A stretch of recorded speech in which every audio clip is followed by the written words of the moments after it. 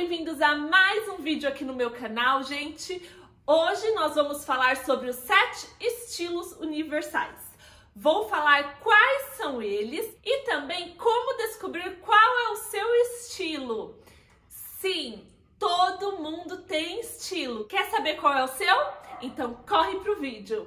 Mas antes, já se inscreva aqui no canal, já ative as notificações e me siga lá nas redes sociais, gente. E vamos lá! Então vamos conhecer os sete estilos universais, gente. E vocês vão perceber que ao falar dos sete estilos, vocês vão se identificar com alguns, tá? Não fique perdida se você se identificar com mais de um, é super normal você ter mais de um estilo, tá bom? E para que descobrir, gente, qual é o seu estilo?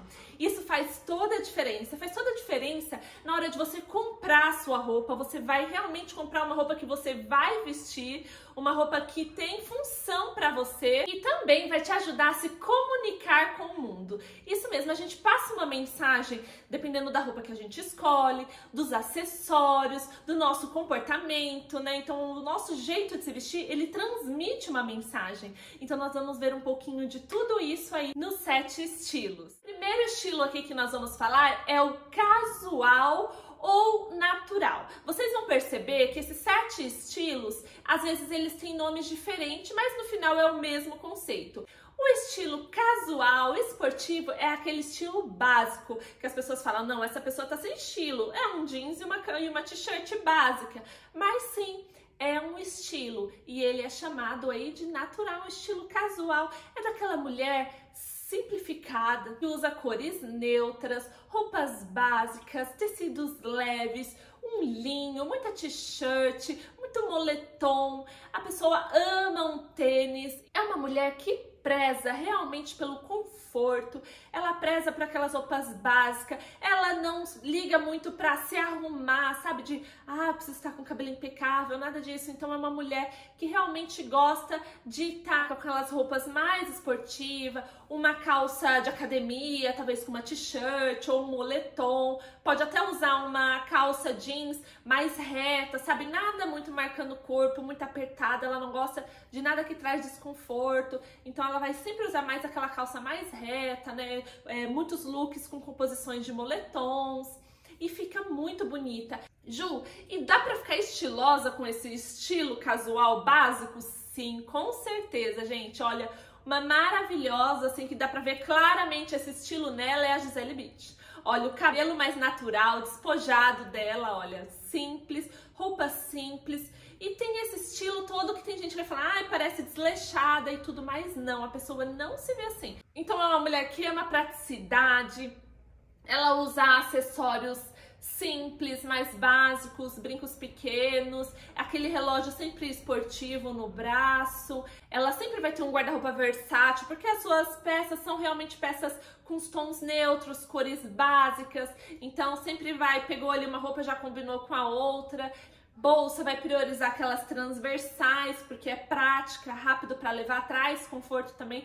Então, tudo isso aí envolve um estilo confortável, casual e básico, gente. Agora vamos falar do estilo clássico tradicional. É a princesa dos dias de hoje, gente, a maravilhosa Kate. Vou até deixar a foto, o look dela, olha, é uma mulher clássica, é uma mulher confiante, madura, que sabe realmente o que quer vestir.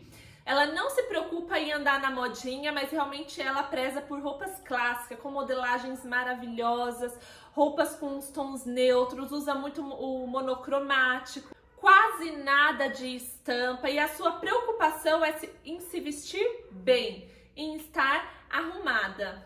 Ela usa muita alfaiataria, no dia a dia ela vai usar um jeans, vai usar uma camisa, um blazer. De tênis, a escolha dela vai ser sempre um sapatênis, algo mais clássico também que combina aí com os seus looks, né? Então essa é uma mulher clássica. E agora vamos falar do estilo romântico, gente. Essa é uma mulher super feminina. Ela vai abusar dos babados, de renda, vai usar muitos laços, flores nos vestidos, saias, é uma mulher que gosta muito do plissado, manga bufante, os tons são aqueles tons mais claros também, neutros, tons pastéis, um rosinha, um azul, um verde, é, menta, então são essas cores leves, doce. Ela é uma mulher delicada, vai usar acessórios mais delicados, pérolas, sapatos de bico redondo. Gente, não que quer dizer que se você é uma mulher romântica você tem que usar todas essas coisas. Talvez você não vai se identificar com babado. Às vezes você não vai, não vai usar muito babado porque você não se identifica. E não tem problema, você não precisa entrar numa caixinha e usar tudo o que o estilo romântico tem. Ah, eu não gosto do sapato bico redondo. Então, assim, não é que você tem que usar, mas muitos pontos você vai se identificar. E agora nós vamos para o quarto estilo, que é o estilo sexy sensual mais calma, que não é um estilo vulgar, gente. Isso mesmo, tem que tomar cuidado porque ele pode puxar para o estilo vulgar. Essa mulher, ela gosta de roupas que marcam as curvas do corpo. Então, por exemplo, se ela vai usar um jeans, é aquele jeans mais justinho e tal. Tem clientes que já chegam, ah, eu quero aquele jeans levanta bumbum, que é aquele que tem um recorte arredondado atrás, então dá aquele formato gosta de ver as curvas do seu corpo, uma roupa mais modelada. Às vezes, se ela vai colocar uma pantalona, ela vai jogar com certeza por baixo aí um body, né, por baixo. Ela vai usar um decote ou então ela vai deixar o ombro mais à mostra um vestido sempre vai ter uma fenda, gosta um pouco da roupa mais curta, é uma mulher poderosa, que até nos seus gestos, comportamento, passa uma mensagem ali mais sedutora, vai usar muitas cores fortes, como vermelho, preto, ama um couro, ama também um animal print, sabe fazer essas combinações, gosta de brilho também. Tudo isso faz parte desse estilo sexy, sensual. Quinto estilo, o dramático ou o moderno, é uma mulher repaginada, aquela mulher poderosa, ela passa uma mensagem de mulher forte, personalidade forte, então ela usa muito é, acessórios marcantes, roupas impactantes importantes, com mix de textura, lã, couro, bota marcante. Então ela deixa sempre uma marca para onde ela passa, ela passa essa mensagem de uma moda repaginada, de uma mulher moderna. O nosso sexto estilo é o elegante, sofisticado. Gente, é uma mulher que ela tem uma essência, que ela é elegante por si própria. Se ela tem uma postura de mulher elegante, no seu jeito, vem dela, sabe? Essa elegância, ela vai sair impecável. Aquela mulher com cabelo impecável, maquiagem, acessórios impecável, vai usar presilhas, vão estar impecáveis, todas as pedrinhas ali. Ela valoriza muito todos os detalhes. Vai usar tons neutros, a roupa é impecável, ela ama uma roupa boa, com uma modelagem maravilhosa.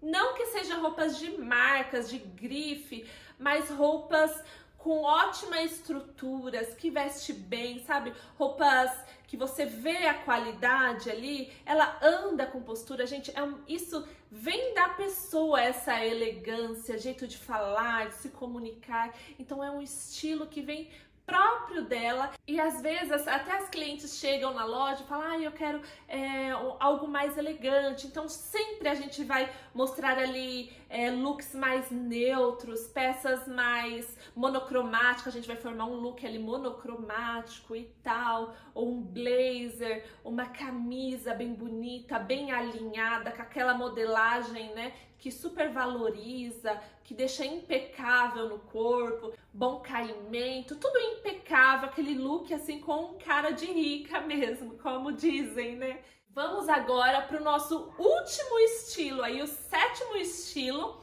que é o estilo criativo, gente. É aquele estilo fashionista. Ela tem um mix de tudo aí. Tudo que a gente falou, ela consegue fazer esse mix de tudo, ficar super estilosa. Ela junta as cores, faz aquele bloco de cores.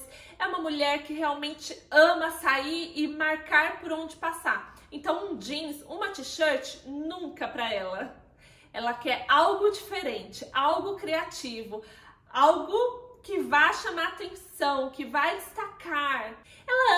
Estampa, ama cores, faz mix de texturas. Ela vai da cor mais clara, mais escura. Então, assim, é uma pessoa ousada, que não tem medo realmente e forma ali seus looks como peças marcantes. Então, essa é uma mulher que faz parte aí do estilo criativo. E aí, gente, vocês se identificaram? Me conta já nos comentários com quais estilos vocês se identificaram, com qual você não se identificou de jeito nenhum, porque isso é muito legal. Como eu falei para vocês, vocês não tem que se colocar numa caixinha e falar, eu sou esse estilo e eu vou andar assim agora, pronto, acabou. Não, mas é um norte para você se achar, juntar ali seu próprio estilo, para você se conhecer e falar: meu, isso daqui eu nunca vou usar, por mais que eu achei bonita ali a atriz usando, ali no, no Pinterest, achei bonita ali na influencer usando, mas não é meu perfil. Às vezes você vai achar bonito, vai comprar e você vai falar: não, não consigo usar isso, porque não é o seu estilo. Então, você conhecendo os estilos, você consegue se identificar melhor.